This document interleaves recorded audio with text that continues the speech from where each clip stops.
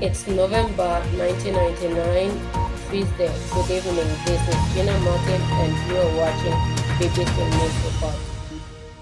BBC headline In Europe during World War I period, 10 million soldiers lost their lives and got wounded.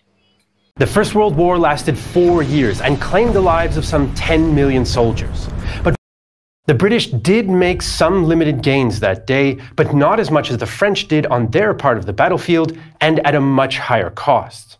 July 1, 1916 was Britain's deadliest day not just in the First World War, but in all of British military history. 19,240 men were killed and about 38,000 wounded. And had its worst day of the war on July 1st as well, losing 85% of its men killed or wounded.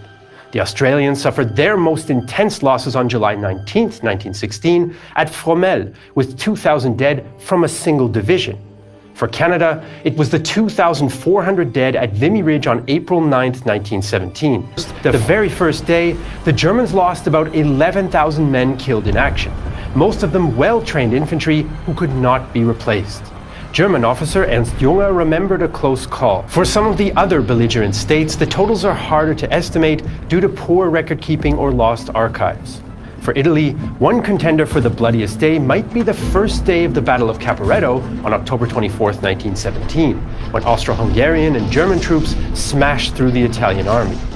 Or it might have been June 29, 1916, when the Austro-Hungarians launched a phosgene gas attack on Monte San Michele, which killed nearly 3,000 Italians and poisoned 4,000 others, along with some of the Austro-Hungarians themselves. In the end, that attack did not significantly change the front lines in that area in the dead of winter. On that day alone, the Austro-Hungarian Second and Third Armies reported 40,000 missing, many of whom had been killed in the fighting or died of hypothermia in the snow. A third possibility would be June 4, 1916, when the Russians began the Brusilov. Russian casualty records are also in a state that makes it hard to reconstruct accurate figures. It is possible, though, that the Russian army suffered its worst day during the 1915 Gorlice Tarnów offensive, when the combined armies of the Central Powers pushed the Russian army out of Poland and inflicted hundreds of thousands of losses. 1915, the bloodiest year of the war for France. In those two campaigns, they lost 81,000 wounded and 63,000 killed or missing. And most of the missing were. Well, let's go live to Europe to speak to our correspondent there. I'm Indy Neidell. Welcome to a Great War special episode about the role of women in the First World War. They served as nurses, munitions factory workers. They sewed bandages. They sold war bonds. They worked in shipyards. They were spies and much more. In Britain, the Women's Royal Air Force was created with women working as airplane mechanics. As you may imagine, the traditional family structure was very often completely changed by the war, as many women were forced into the workplace by the deaths of their husbands. Other women were drafted into industry. If we look at Britain for a minute, we see that during the war, 200,000 women took up posts in government departments, half a million in private clerical positions, and another quarter of a million in agriculture. This pales in comparison to the 700,000 women who worked in the munitions industry, which, let's be clear, was dangerous work. There were 5 million women working in Britain by January 1918. Actually, in Britain during the war, roughly 2 million women replaced men at their jobs. And just Russia, the percentage of women in the workforce jumped from a quarter to 43%. A million women joined the workforce in Austria. And in France, where women were already a relatively large proportion of the workforce, female employment jumped 20%.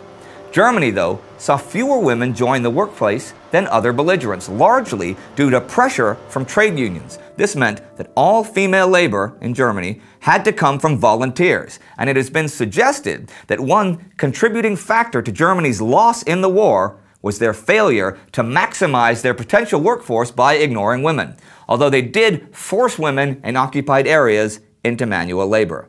Now, when women employed in munitions factories, the munitionettes you probably picture first. And indeed, they are the most visible faces of women workers from the First World War. Munitionettes produced 80% of the weapons and shells used by the British Army, and daily risked their lives working with poisonous substances without adequate protective clothing or proper safety measures. And after 1918 were quite different, with many women now having shorter hair and wearing shorter skirts or even trousers. Nursing, the munitions work, and of course the struggle for suffrage, to really put it all together and paint the big picture with the detail that it deserves, since the role of women in the war is underappreciated.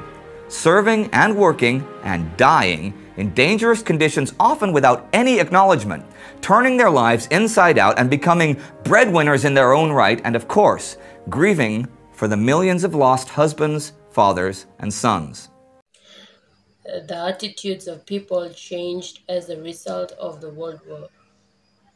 Why there was a need for peace, why Germany dem- almost demanded that there had to be peace.